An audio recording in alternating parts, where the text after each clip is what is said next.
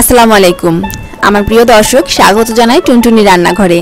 ঈদের সকালে দুধ সেমাই সবার ঘরেই তৈরি হয়। সেই দুধ সেমাই একটু স্পেশালভাবে আপনাদের করে দেখাবো আজ। ধন্যবাদ জানাই আমার সাবস্ক্রাইবারদের। যারা সবসময় সাপোর্ট করছেন তাদের। যারা এখনও আমার চ্যানেলটি সাবস্ক্রাইব করেননি, তারা প্লিজ নিচে লাল রঙের সাবস্ক্রাইব লেখা বাটনটিতে ক্লিক করে পাশের বেল আইকনটি হিট করুন। তাহলে প্রতি বুধবার রাত নয়টায় মজার রেসিপিটি আপনি পাবেন সবার আগে।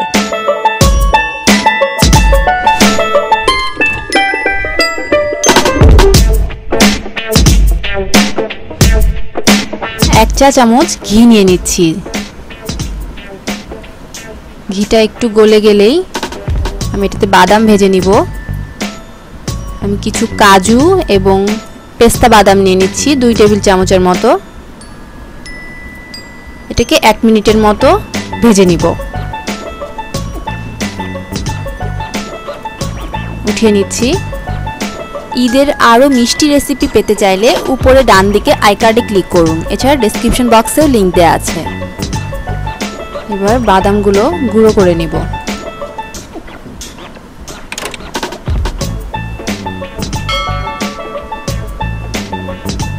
আমি একদম গুঁড়া গুঁড়া করে নিচ্ছি। আপনি যদি চান কুচি কুচি করে নিতে পারেন।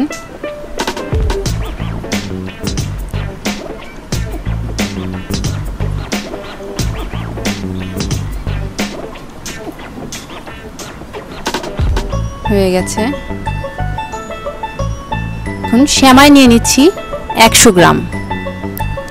এটাকে এক ইঞ্চির মতো করে আমি ভেঙে ভেঙে নিব, তাহলে ভাজতে সুবিধা হবে এবং খেতেও সুবিধা হবে।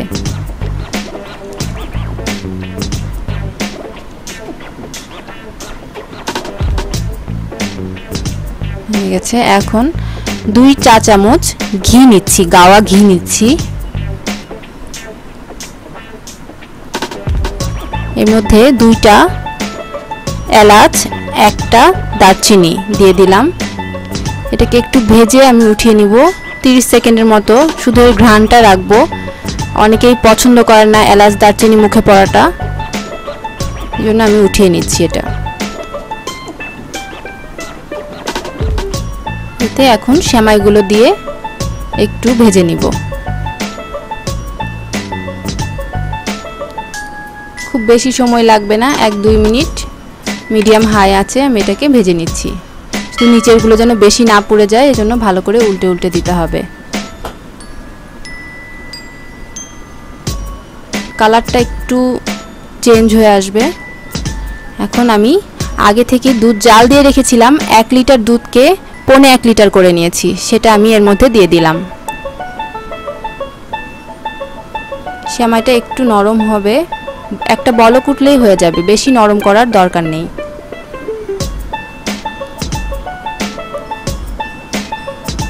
এক চিমটি লবণ দিয়ে দিচ্ছি। লবণ হয়তো মনে করবেন যে খুব বেশি খারাপ লাগবে, এটা লবণের স্বাদ বোঝা যাবে না। মিষ্টিটা ভালো লাগবে খেতে। ফুটে উঠেছে, চিনি দিয়ে দিচ্ছি এক কাপ। চিনিতে একটু পানি ছাড়বে।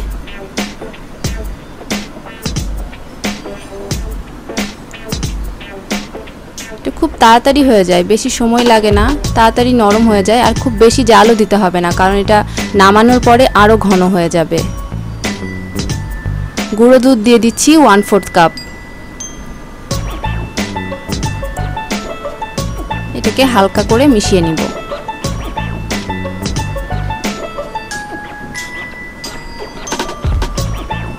দুধের খাবারগুলো নামিয়ে ঠান্ডা করলে, আবার ফ্রিজে রাখলে আরও জমে যায়। এজন্য একটু নরম পাতলা থাকতেই নামাতে হবে।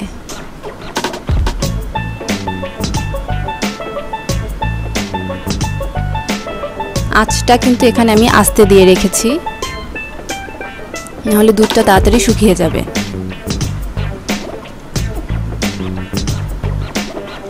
আমি গুঁড়ো করে রাখা বাদাম কুচি দুই টেবিল চামচ দিয়ে দিচ্ছি।